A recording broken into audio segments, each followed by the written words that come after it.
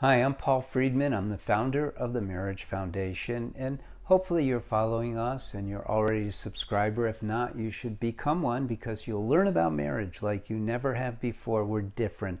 This topic is My husband and I speak different languages.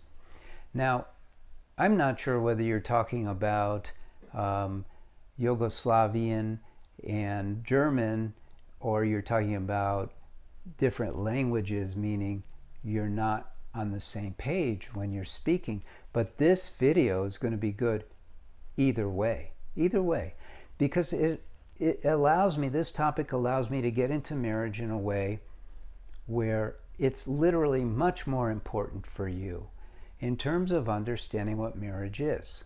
You see, there's not an understanding of marriage. If you were to look it up you would find out that the commonly held definitions of marriage are very mundane.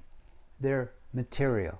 It's like it's uh, unity between two people who agree to live together until they get a divorce or or death do they part and they don't get into what marriage is really about. If you understood marriage when you met your soulmate, because you did, you're married to your soulmate, and your husband, of course, he's going to speak a different language, even if it's the same language, because he's a man.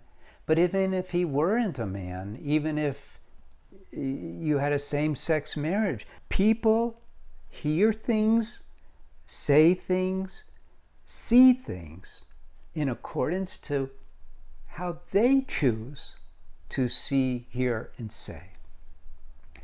You see, we have this beautiful gift called free will, and we use it. Now, we use it unconsciously. We don't think, well, I should see this in a positive way. Oh, I should say this in a way where he understands me. I should pay attention to him because I'm not sure if he's going to communicate to me in a way that I understand. We don't do that. Simple little steps in communication can help you with that. So, for instance, if you say something to your husband and you could see it's like he's rolling his eyes, or maybe he's looking away like he doesn't hear you, you go, honey, I'm not sure if I communicated that very well. Can you, I know it's a pain in the butt, but could you just tell me what you heard me say?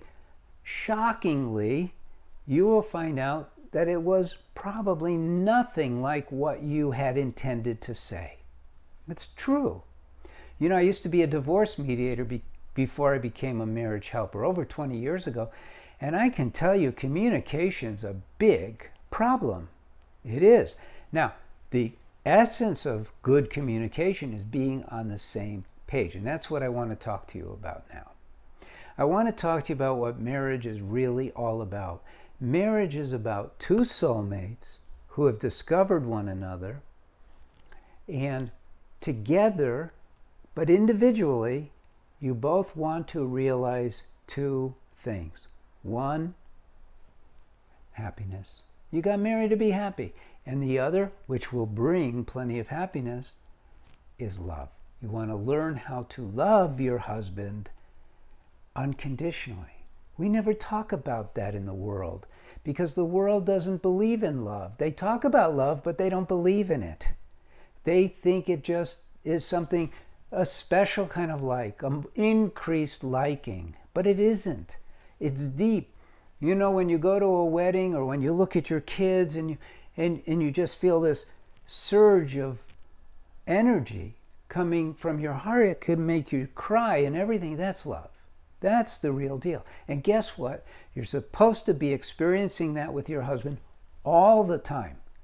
All the time. Which is why many people have subscribed to this channel so they could learn these things. Other people get one of my books, some people take the course, but the point is, you got to learn this stuff because it isn't taught. And the other thing, of course, is learning how to master your mind. Because, you, you know, no one can tell you what to do. No one can tell your mind what to do until you systematically take control over it. So you're not beaten up by your emotions, your inner reactions, your instincts, and all of that. There's a lot to learn. So hopefully this helps you. You and your husband speak different languages, no problem. But you're supposed to live your marriage on the plane of the deepest love and the deepest joy. And then the language won't matter all that much. Won't. Now, if you've been following and you want to become a TMF marriage counselor, and that's all we do, we don't do therapy and stuff like that, then we're setting up a course now where you can learn how and you could become one of us. And I welcome you to check that out. My name is Paul Friedman. I'm the founder of the Marriage Foundation. And I welcome you to visit anytime, all the time. And you could write in, check out our website. God bless you. Thank you for visiting. I hope I see you again. Take care.